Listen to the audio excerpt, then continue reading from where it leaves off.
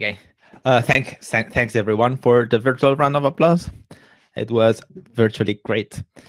Um, all right. So for the talk today, I thought that um, instead of talking about uh, things that are happening, which is what I generally talk about because I am a developer, I thought, um, well, what will developers care about when they start uh, developing their applications? In general, we are talking about uh, graphics, uh, graphical applications, much like what um, Matthias was just talking to us about, like all of these uh, fancy um, graphic effects and stuff. And I think that it's important to understand what is the process for our application to go into our uh, user screens and displays and well wherever they use it because this changes every day. So that's why I thought it could make sense to um, well talk a little bit about uh, what uh, Wayland is. Um, I am also talking about Wayland specifically, not which is where they're going at least uh, for the community as a whole. Some of us are more advanced in adopting it than others, but uh, in the end, it's not entirely the status quo yet. So it's still an, uh, a technology that uh, I am guessing that some of the developers need to embrace still. Uh, first of all, let me. Ooh, the penguins look weird. This used to be a penguins emoji. I think that Big Blue Button doesn't like my emojis, but I mean, uh, they were more cute as penguins, but sorry about that. Who am I? Uh, well, my name is Aleix Pol. I am from Barcelona. I, uh, I have been developing KDE software for the last uh, 15 years, maybe more. I get old quickly. Um, I am the KDE president as well right now, but uh, well, I'm still a software engineer, uh, and I work for Blue Systems doing well software development within KDE. I've been uh, involved both on developing different applications within KDE Edu, for example, uh, KDevelop and our ID, but I've I've also been working as well as uh, within Plasma doing well our software center and more recently working on KWin, which is our well, window manager back then and Wayland compositor nowadays, uh, which is how I got to, well, thinking about this kind of topic. Now, um, a bit the history for those of you who haven't been around forever, and I'm not gonna even claim that I've been around forever, even if I've been around for 15 years, because in Unix time, forever takes much longer. Uh, X11, which is what um, well, still a lot of people are using nowadays was uh, a system that was designed in the in the 80s in um, in conjunction with Unix.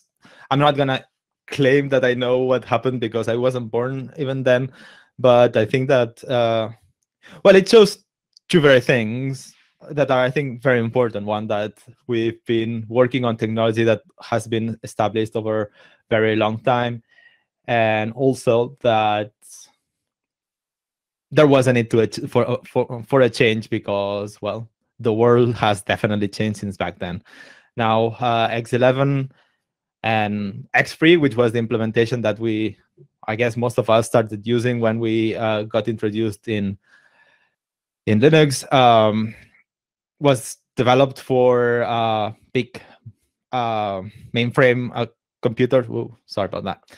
Big mainframe uh, mainframe uh, computer so that they could put it in a university in a company and everybody would well join and uh, from their own dumb clients and they would get well their own little windows and things uh, and get their, their job done in a big computer elsewhere which is actually how we don't work nowadays now we still do a lot of our um, work in on the cloud, which we call it nowadays. Back then, it wasn't called the cloud.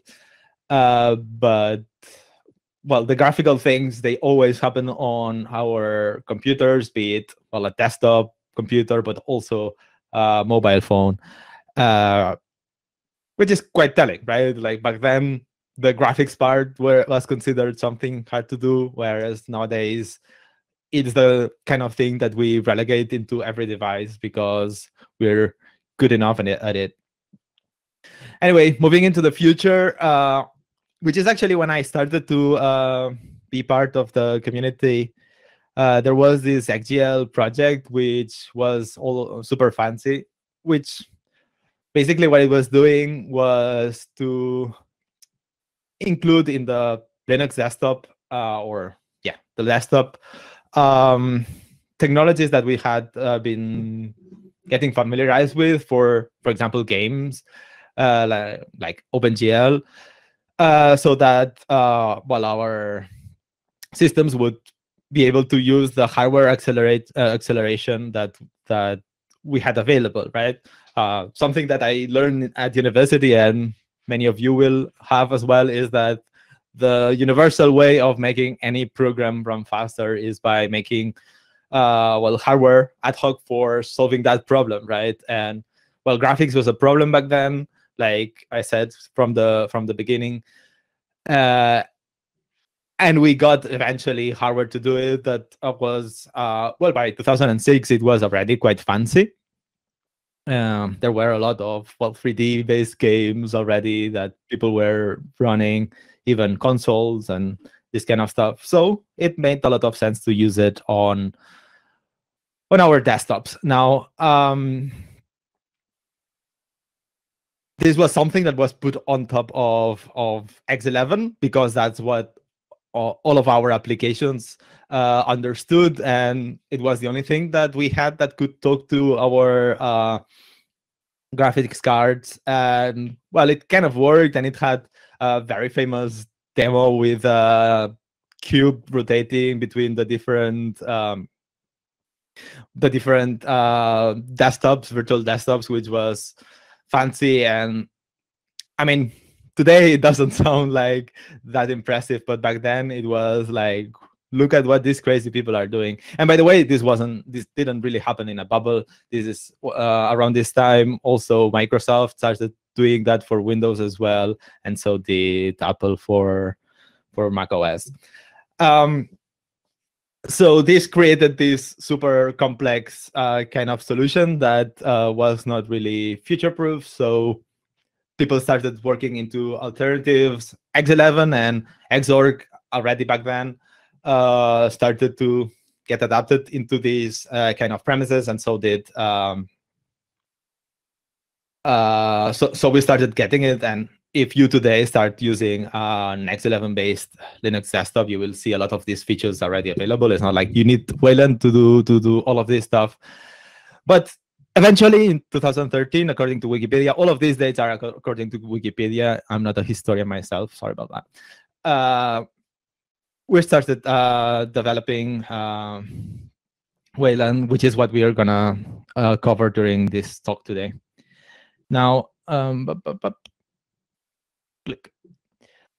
So why, why, why, why did we need uh, other things? What do we as application developers now? We need to think about two target platforms in practice that rather than just the one um, at, at least for for a transitional time well uh, for for starters we want stability uh, the development of of xorg and compositors on top became like it definitely works and it worked for a good 30 years without uh I would say without problems, but then it weren't my problem. So I, I know that a lot of people, uh, well, sweated a lot uh, during the process. And well, people eventually wanted to have this more simpler solution where from uh, a compositor, uh, you could uh, decide how things work, how things uh, communicate between one another. And the way you have as a maintainer to say this is stable this is something that I, I i, feel capable of delivering to my my users is by being able to somewhat control and uh, be able to decide on what the stack is. Um, this is something that we do get by by Wayland uh, through the, the the newer design we also uh, are looking towards having performant graphics, right? So in the X11 model, we were we had the applications talking to the server, the applications talking to the desktop, uh, well, the compositor, and there was a lot of moving pieces over there. What we have right now, though, with Wayland is a much simpler architecture where all of the applications or clients, like we generally call them in Wayland, talk to the compositor. The compositor is already doing graphics calls fairly low level or as low level as it wants to uh, the the graphics card, and the graphics card does its thing. Now, this means that there's a lot of the infrastructure that uh, X11 was giving us for free that we have had to to implement. But then this also means that if uh, you right now tell the maintainer of your system, be it uh, GNOME or Plasma or Sway or whichever, that something is not working as it should, they get to give you a proper answer rather than saying, oh yeah, you know, this is uh, bug in X11, report it to them, problem done, which is something that sadly has happened and it has put our position as a product uh, in jeopardy at uh, different points in in history, right? This is not something that should happen. We should have the full ownership of what we deliver to be able to, uh, well, solve all of the problems.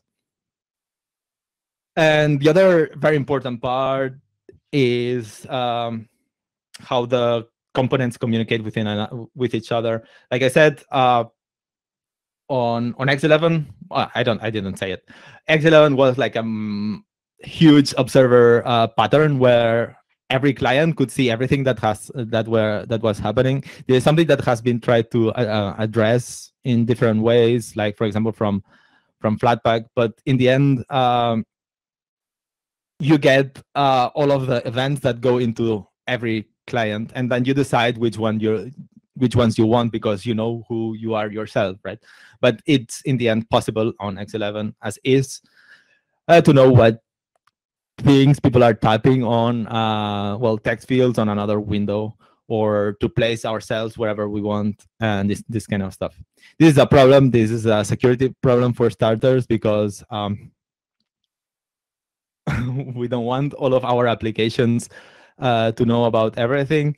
We have not had a lot of problems about uh, security on Linux, for example, or at least major ones that we know about. But it's only been because, well, people have been reasonably good at uh, choosing where they get the, their applications from. But in the end, horrible things could have happened. And I'm pretty sure that horrible things have happened somewhere because this could just happen, right? Um, writing a keylogger for X11 as it is used nowadays still is trivial and everybody can do it well sitting down uh, in an afternoon right whereas uh but that's not ideal um what we do on on wayland instead is since you only talk to the compositor the compositor will only be talking to you about the the things that you're supposed to know about. This has a, a another interesting ramification, which is um, the state machine that you end up getting is much simpler because every client is not depending on the states of all of the other clients, but instead that you just have the state of uh, of that is the conclusion of what the compositor has been telling you, but only the compositor and maybe the rest of the dbus services that you talk to and maybe hardware, but well, not the state of every other client around you, which I think that is also part of why this is good news. So how does this work? I keep talking about the compositor and the clients. Well, uh, let me show you this graph because graphs are always better at explaining things. Uh, here it shows three applications the applications have buffers. This is only depicting how it works for the, the rendering part, but I think that it's quite explanatory in itself. So every application, we have a set of buffers, which are well every frame that that you want to re- that that you want to render on on the on the screen for your application. It will will tell the compositor, I have a new one, or uh, and you get to present it. Now the compositor will put it whatever, however they like. In Windows, it will. It could be on any other way as well. It could be doing mosaics. It could be doing like we have different kinds of of compositors as well, like like Sway, for example, which is tiling. We have well the normal window like we do on on Plasma, and they do in, in GNOME as well. Because in the end, it's part of a compositor's role to decide how these things should be working and how these things are working. Um, this graph is, is a bit limited though, because if applications could only send things, well, life would be very boring for everyone who wasn't a video player. Uh, the compositor is also connected to uh, other hardware that uh, we will be using for input. Think about um, touchpads, uh, mouse, mice, uh, keyboard, uh, tablets, um, anything really. Uh, you can also think about uh, virtual keyboard kind of use case. It's not hardware, but it's something that uh, it's something that the actually the compositor understands how it needs to be done. It will get the information and it will be sent to the application in the right way. And the compositor will be sending all of these application uh, to the applications, and the applications will be sending back uh, new buffers with their updated information or whatever they need. Uh, applications could also be talking about other stuff. It's not like applications can only talk about tell about frames, but it can, they can tell about anything. We will see a bit later how this all works.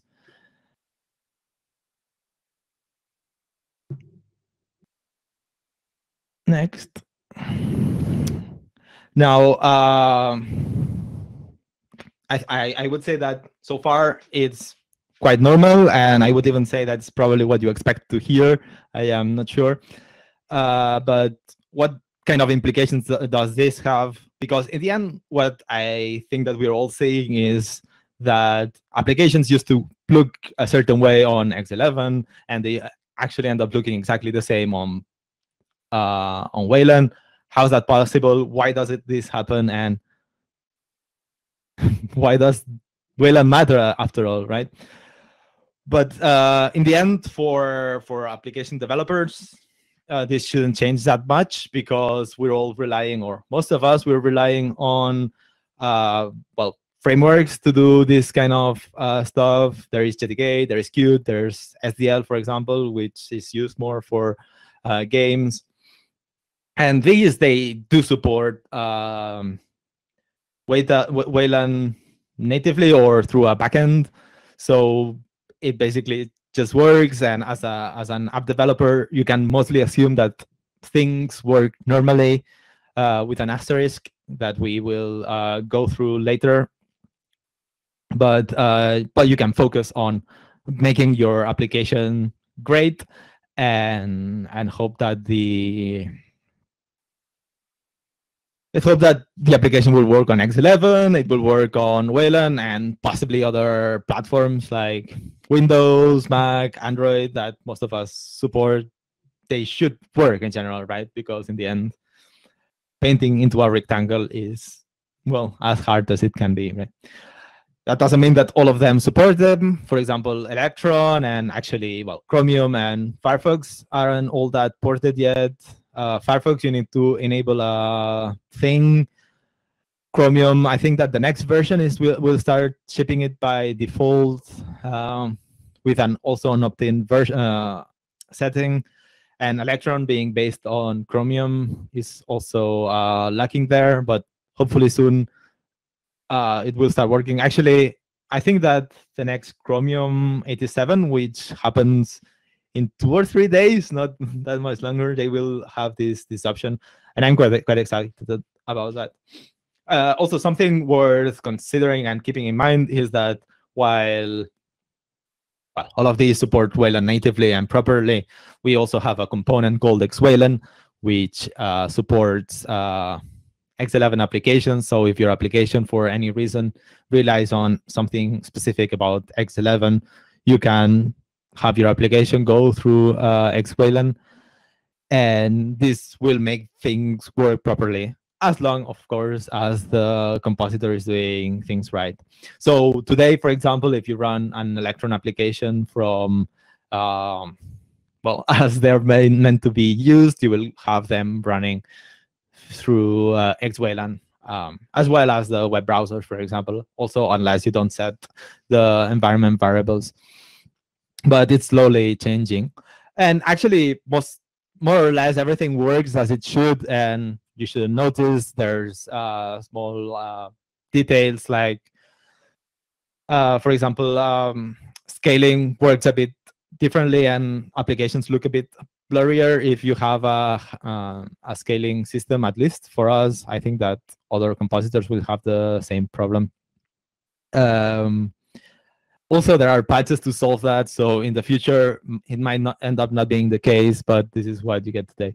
But it's not a big problem. Like many of us have been using Wayland only for the last few days, and we've all been able to do uh, well everything that we used to do on on Linux without feeling um, sorrow. Um, I've been talking a lot about um, this communication between the compositor and the client. What does it look like? Uh, and it happens through protocols now. Uh, well, when your application start starts, it will it will connect into a socket, and they will start communicating much like well any communications happens through a socket, right? You read things, you get to read things, etc. Uh, this is not something that even if you were um, toolkit uh, developer, you would have to care about that much because, well, on one hand, there is libwayland and it's tooling that takes care of that. Um, so, well, it's already somewhat abstracted so that you can comfort comfortably have this kind of um, back and forth.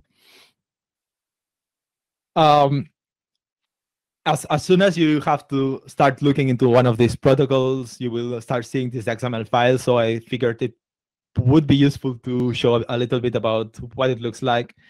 Uh, so I created the most innovative uh, protocol called the protocol potato, which does nothing and it's not supposed to work or anything. It just meant uh, for you to see what kind of things it does.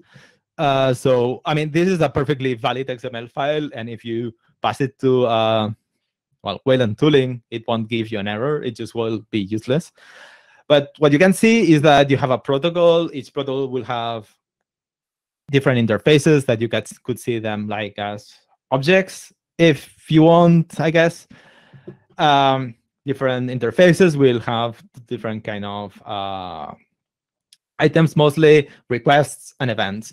And you should read these protocols as if you were a client. So in, in this case, a client can request uh, to get a potato and will eventually be notified about the cooked event, right? Um, so when you're a client that implements this, um, you will have this kind of semantics uh, allowed. You can see also the request can have arguments. So you can say, say get the potato for this surface. Uh, no, sorry, like here it's getting a potato and it's the surface that is returned. But you could pass things like give me the potato number three or give me the potato called banana, whatever. Uh, and eventually it will be getting a callback that is usually like a function pointer or a virtual function if you use uh, object-oriented uh, programming that about uh, the cooked signal whenever it's it's emitted. Um, if you're a compositor though, which none of you are because here we are app developers right now in the context of this talk, what you do though is the get potato is something that you never call that you're called to offer potato and the event is something that you do send right so eventually when the event happens you get to uh, emit it for your clients to know and something uh, that i think it's useful to understand is that when you do send these things from the compositor you say to which client do you want to send it i mean it can be to all of them but not necessarily and actually usually not all of them, but whoever you're replying to or anything in this regard. Now, this all sounds very abstract. How do we turn that into something that uh, looks more or less practical? Well, um, we're gonna go, get to that later. you can see the protocols available uh, officially in the repository that I pasted on this. Um, I pasted, but yeah, that you can see over here. Maybe somebody can put it on the chat or something. But essentially, you will see uh, uh, a bunch of them. They're, they are split into two big categories, stable and unstable. Stable, what they mean is that they are not meant to change in the foreseeable future. Unstable is that they might still be uh, developed all of them they are agreed upon by uh, different uh, actors in the in the community being the different compositors they don't all need to agree that they are all useful and to implement them but uh, at least there needs to be a critical mass that is using them and, and implementing them. Otherwise well it would be quite frustrating to say to find something over there and say i'm gonna i'm gonna use this protocol because it's exactly what i think uh, what i need as a as an application developer but then not find any compositors that uh, that do it uh, most of the things you will find over there uh, should be supported. Uh, i think i mentioned there's the stable ones and there's the unstable ones. The unstable ones they could change over time. And kind of the idea is to polish the unstable ones so that they can become so that they can become stable over time and well enjoy life. Now these are the ones that you should uh, care the most about as an application developer because they are the ones that will more or less be implemented by all compositors. Um, but then since well creating a desktop environment is not always the simplest of tasks.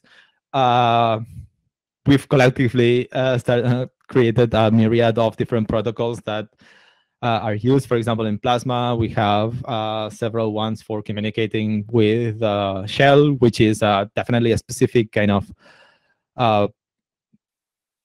client that needs to do and to know about things that other clients will well shouldn't know about or will not need it anyway. Things like listing uh, windows this kind of stuff. You don't want or you don't need every application to know about this kind of stuff. So we only set that send that to the to the privileged kind of uh, clients uh, others also have similar things that some of them for example also extend what the standard ones do but in general, uh, these are some that you shouldn't need. I did place them here though because they might be useful for you. And as an application developer, if you say, see that something is super important for you, you can always say, how about we standardize this one because I want to base my application on this concept. Um, and otherwise I cannot I cannot have my application do do its own thing. And this is something that could definitely happen. Uh, some that we've created in the past has been uh, well shared between different projects, and I could see them uh, moving into more stable spaces eventually over time. Now, um, there was the XML file, and there was the libwayland thing I told you about. So how do we mix them in, in a way so that you don't have to become a weird protocol ninja so that um, and that everything reasonably works well there's these uh, tools that you can use to generate uh, code from an xml file that will work for your application so basically what you do as a as a as an application when you want to interact directly with a with a protocol is that you will create a registry. The registry will announce to you all of the different um, interfaces that or yeah protocols that are available, and then you get to say, all right, I am interested on this one. Give me this one, and I will work with it. And what you will do is that, or you will get uh, an instance of a weird object that you will get to uh, pass into one of the uh, well, classes generated by these scanner files, classes or objects, depending on the kind of um, of language that you use. There's a Wayland scanner that will generate C uh, uh, .c file and a .h file. The Qt Wayland scanner, same-ish, but with C++ things. There's the PyWayland scanner, which I have never used, but it generates Python code. Uh, I guess I saw that there were others like for Rust and this kind of stuff. But in, in general, the idea is that since it's not tied to any language or any technology, you, but you definitely want to uh, communicate easily with with the with the protocol, and you should be able to do so with the semantics that are provided from the from the XML file, which is well what you care about uh, at that point. Of course, if you ever decide to come up with a protocol, you will have to implement it for your client and then for all of the pro- compositors. So beware with doing that and well, don't try to consider this a solution for everything.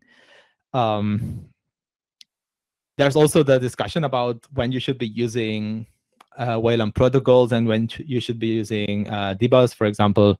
Um, there are things that have been using dbus that actually theoretically and technically could be ported into Wayland protocols, but there's no good reason to do that, and we, we will never probably do it. Like I don't know, I'm thinking power management, right? You have a dbus service that is already doing its thing, and uh, well, it doesn't have a big problem with that. So it could make sense to have uh, applications not be exposed to to those, but in general, uh, as soon as they see them, they should be able to continue working with these dbus uh, uh, interfaces, and that will continue being the case, right? So as compositors, we have several of them already implemented. There's Weston, which is kind of the reference implementation and it lives together in FreeDesktop with uh, Wayland itself. There's KWin, which is the one we've been doing for Plasma. There is Mutter for GNOME.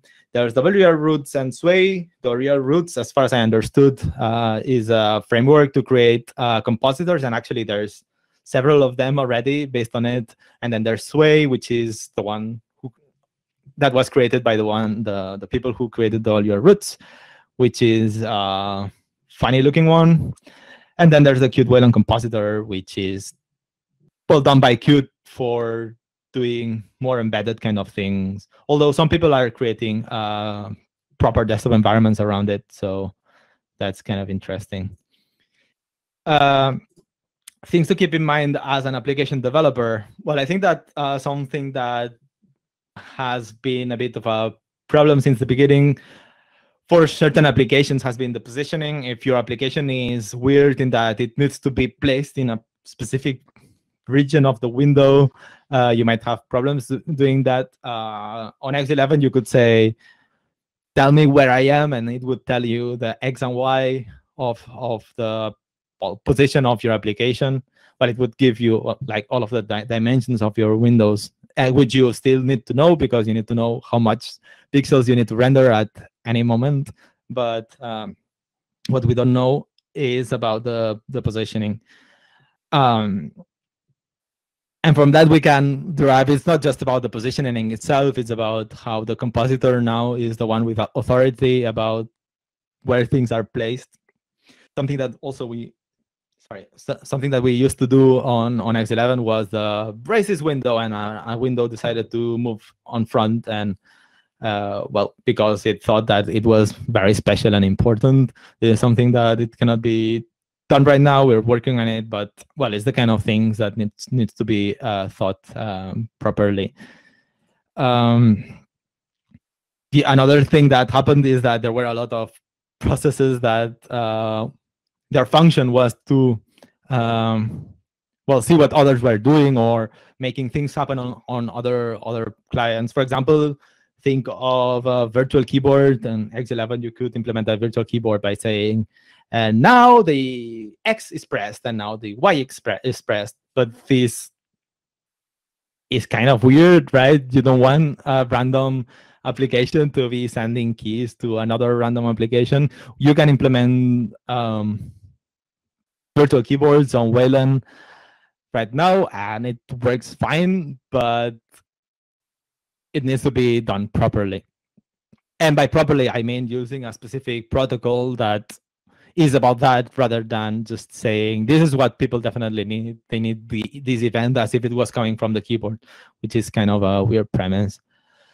Um, if you want to le- le- learn further, there's the official documentation, which is fine. Uh, it's quite extensive. Uh, there's also the Wayland book, which was the, uh, created by uh, one of the Sway or the um, lead Sway developer, I think. Uh, it's pretty good. I ended up reading things over there when I was starting, and I needed to understand why things were like they are. So I recommend you to take a look and see what's what over there. Other than that, uh, well, I mean, there's definitely tons of other documentation all over the internet. Uh, if there's something specific you need, I'm sure that I or maybe other people will be able to help you with that. But um, yeah, if anyone has any questions right now would be the right moment to talk about them.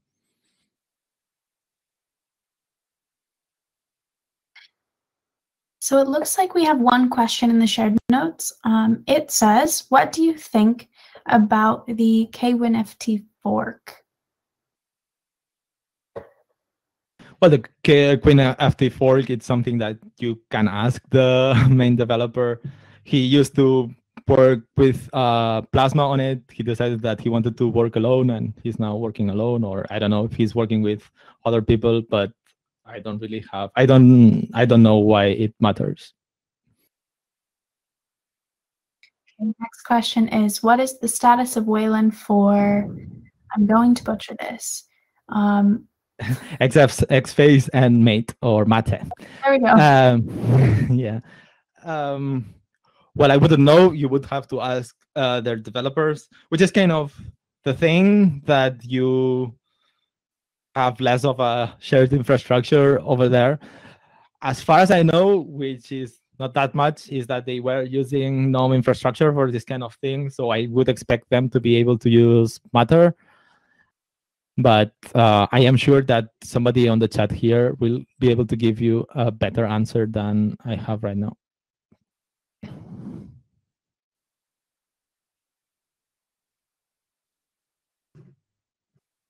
It looks like that's all the questions we have. Thank you, Aleix. As always, a wonderful presentation. And um, we will see you around, I suppose. You'll see me around. Thank you very much, everyone, for listening.